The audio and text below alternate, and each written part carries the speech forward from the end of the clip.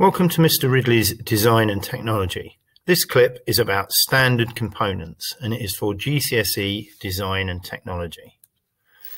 Standard components, early manufacturing.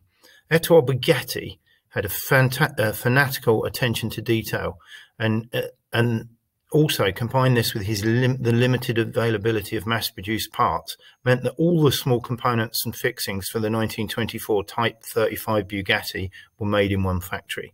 So if you see this vehicle here, which is the Type 35 Bugatti, the nuts, the bolts, every little part um, was controlled and was manufactured in one factory.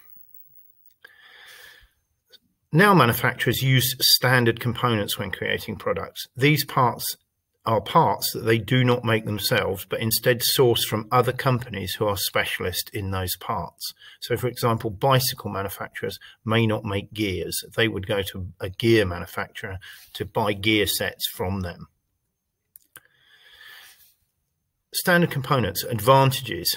Standard parts are less expensive to manufacturers. It is obviously often cheaper to purchase from outside suppliers who can mass produce the items in huge quantities.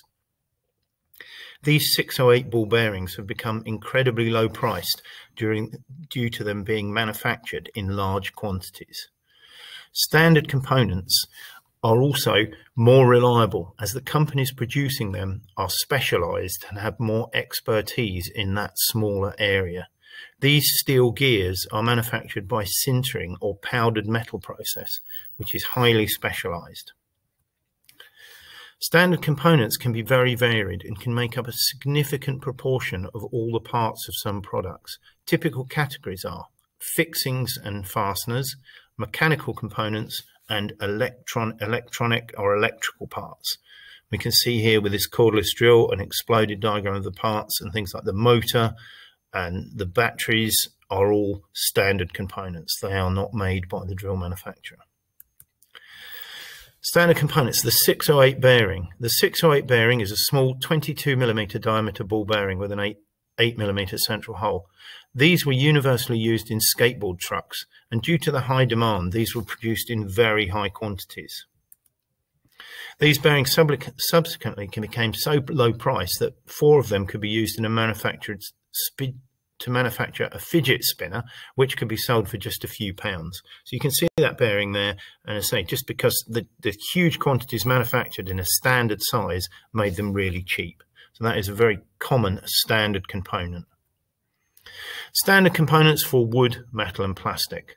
So here we've got a range of standard components. So for wood, we've got wood screws, obviously available in all kinds of sizes and um, and materials. Hinges, they're used in wood, they would be a standard component that would be available in different sizes. Nuts and bolts used to join metal, pop rivets used to join metal, and knockdown fittings. Knockdown fittings are the type of fittings that are used in flat pack furniture.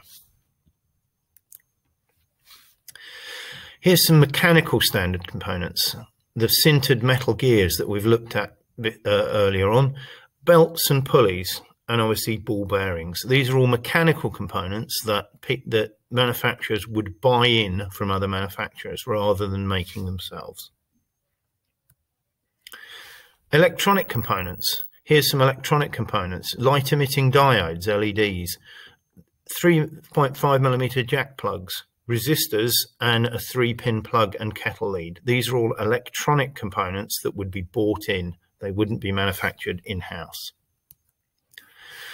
Disadvantages. The use of standard components can mean that products with many bought-in parts can have very large supply chains, with parts from one product traveling all over the world. Delay in supplying just one part can mean that the production of the product is halted. So we've got a really extended supply chain with parts coming in all around the world. Since COVID in 2020, the Meddings Engineering Company that makes the pillar drills that we use in this room have announced they will be making more of their parts in-house to be less reliant on parts shipped from around the globe. This phenomenon has been referred to as slowbalization, and this is the slowing of globalization and the much more reliant or much using much more parts um,